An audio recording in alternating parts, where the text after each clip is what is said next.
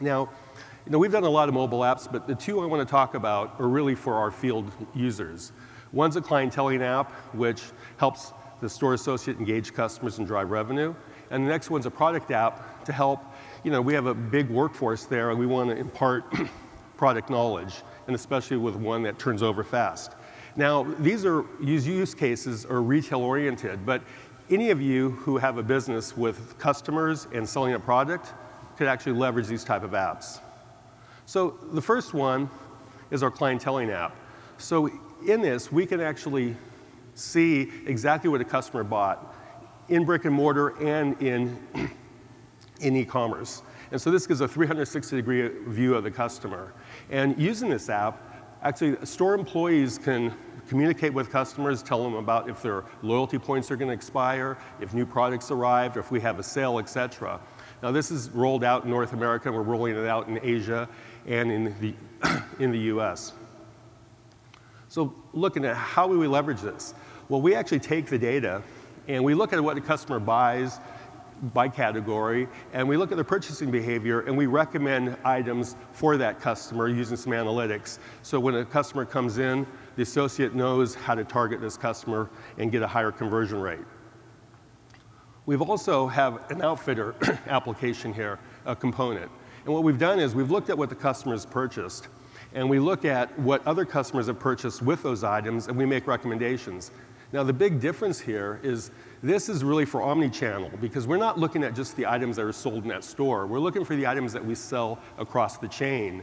And if, whether it's available in e-commerce, and you we have pretty good functionality. We can ship from store, we can order in store, et cetera. And so this is used to actually sell items across the chain, not just what's in the store, and really convert that customer to an omni-channel customer.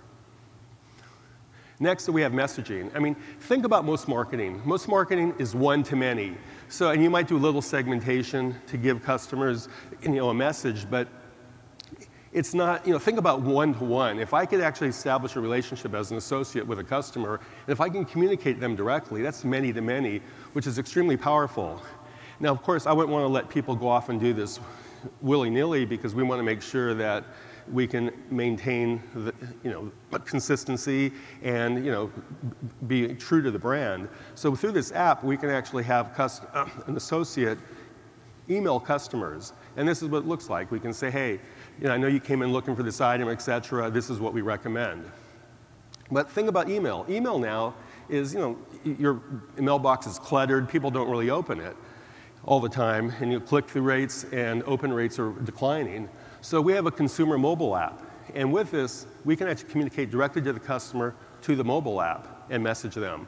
Now, this is kind of cool because I don't know about you, but when I get a message on my phone through a mobile app, I always look at those almost 100%. So this has actually worked for us quite well. And see, this is what it would look like. And then, okay, so that's, that's clienteling. Now there's the product app. I mean, think about a retail environment. We have 10,000 employees, and they turn over quite often. And what we want to do is we want to make sure that they have the product knowledge when a customer comes in, they can effectively sell and drive revenue.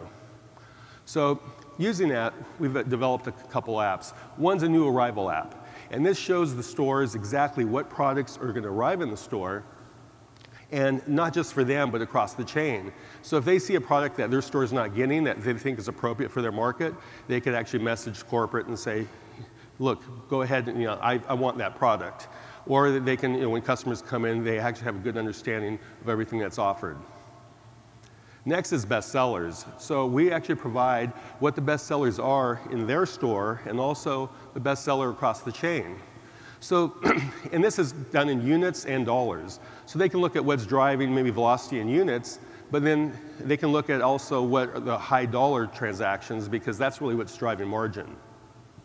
And here they can see if there's a bestseller in the chain but not in their store, then they can see, hey, maybe it's in the stock room or maybe it's not put, you know, displayed appropriately. And they can use this to help drive the visual merchandising and actually see the effect of visual merchandising. Because I'm sure when you go in and you see product displayed nicely, that helps drive consumer behavior.